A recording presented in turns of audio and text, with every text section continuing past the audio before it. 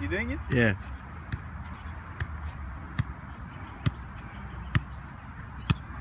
I'm Fabio Ferreira and you should get a jacket attached.